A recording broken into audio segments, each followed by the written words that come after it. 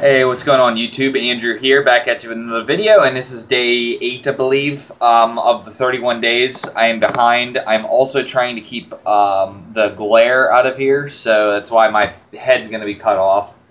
Um, but yeah, so for review today, I am going to be doing From Beyond. Uh, yeah, this is the first time watch. I ordered this from Scream Factory. It sounds like it's a really cool premise and it was. It essentially it's the crew, the same two um, main people from uh, Reanimator with Jeffrey Combs and uh, Barbara Hershey.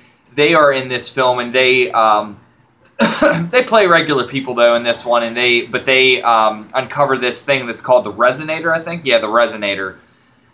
And um, it's a machine that basically there's another like portal of life eh, there. Um, and then it, when they turn this on, that portal of life comes to our reality.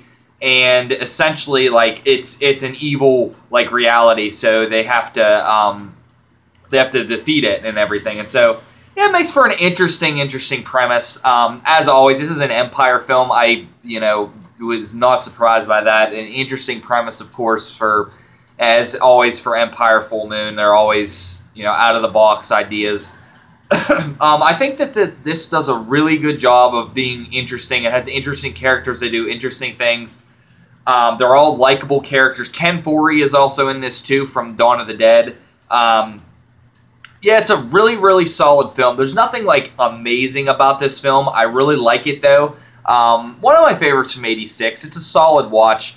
Um, honestly, there's not much to it. It's shot pretty well. It's acted decent. It's not like blow you away or anything. Um, it's just a fun film, and um, it's only like 82 minutes with without credits, and so it's a you know it's a you know goes right by. It's not that that long of a movie, so you know you're not gonna you're not gonna regret um, you know watching this film, even if you wouldn't like it. Um, I I couldn't see anybody not liking this film though. It's creative. It's interesting. Um, yeah, I'm going to come in with a score of 8 out of 10. Um, I could honestly see this score going up more the more that I, you know, learn about the world that this takes place in and everything. Yeah, I just, I really find it a solid film, so that's it. All right, that's going to do it for today, guys. Um, I'm going to do another review, um, and then, um, yeah, uh, you'll see tomorrow is going to be American Mary. Check out for that. Peace.